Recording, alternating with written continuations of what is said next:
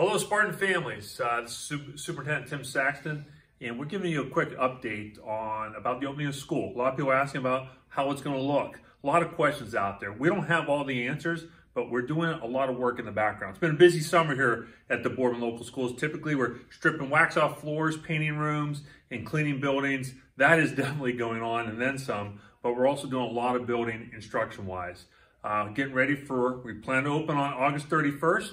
And as the governor said, schools will be open. So our foundational plan is we expect kids to return to school. So we're working on those details. We don't have exact facts yet because we're still waiting for uh, the exact guidelines from the governor. And when those come out, we'll be able to give you a nice solid outline of how the opening, August 31st, uh, how schools will look. But what we're also building into that plan is flexibility. We learned that is crucial from from last spring. So there's two types of flexibility. One is some parents are say, I'm not sending my child to school if buildings are physically open, and we want to respect that, but we want to keep them in Boardman. So we're designing a plan for parents to choose that path. But we're also designing a plan if all of a sudden school is open and the governor shuts us down for two, three weeks, how that will look if the entire school is 100% online. So with some more information and some of the ideas behind that, uh, I'd like to introduce two special guests. My first one is Ed Adams and he is our STEAM coach. He'll give you more details.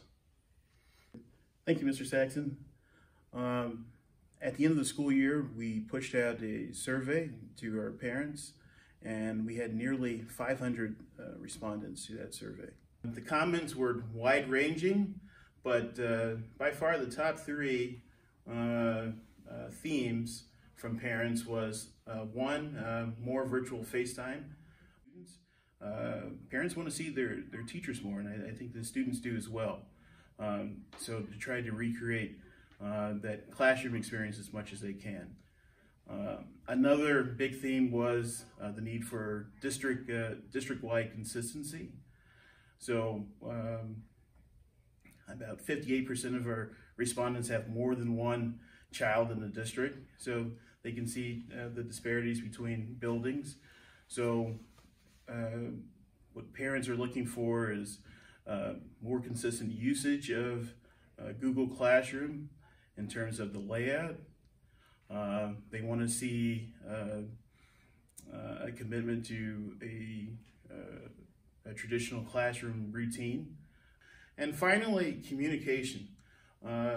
throughout our buildings, you know, uh, teachers have a variety of ways uh, with communicating with their students and the, and the parents. Uh, for example, they use Class Dojo, Remind, uh, Progress Book, email, phone calls, and what have you. Uh, so what parents are looking for with this communication piece is that we can narrow down uh, what formats we're using to at least one or two. Ed, thank you. Great information. Uh, if parents want to see more about the summary of that survey, go to our website and they can get more details. Uh, that that survey, it was you can see how important that survey. What a great tool. Uh, now, for one more layer of flexibility, our director of instruction, Jared Cardillo. Thank you, Mr. Saxton. As mentioned, uh, we have to be prepared next school year to provide instruction to our students in different ways, and we are working on that right now.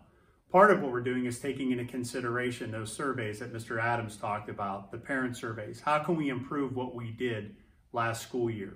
So we're working on those. Our game plan is to have those out to you in draft form on our webpage within the next two weeks. At that time, we need your help. We need you to look at the drafts. We need you to look at the options that we're going to provide students as far as how they can receive instruction and their education next school year. And we need to hear from you. We need to know what your intentions are going to be next school year for your children. Once we have that information, we can even fine tune even better the plans that we have so that all students will have access to a Boardman education in a way that they are comfortable and that they are safe. So please, when that survey comes out, we ask you to take a look at it, to participate, and that'll help us with the logistics, the staffing, and putting together that program, program excuse me, for your child. Thank you, Mr. Saxton. Thank you, Mr. Cardillo. I, I think you heard the word survey uh, four or five times. Uh, I'm just going to reiterate how important the, sur the first survey was to shape, form, and help us develop the future. but this next survey is even more important. We always say that communication, true, true, true communication is two ways. And like this video is doing a lot of talking to you, but that survey will do a lot of talking back to us. Help us confirm the decisions we made or help us to tweak the decisions we made. So that survey, as you heard from Ms. Carter, should be out in about two weeks along with the draft plan. Uh, we, we, really need your help. So if, uh, if you can jump on that, get that back to us quickly uh, with some good solid information, we could build something that's good for the kids that will be physically attending here or may choose to attend online. Either way, we want to serve the kids at Boardman. Thank you for your time.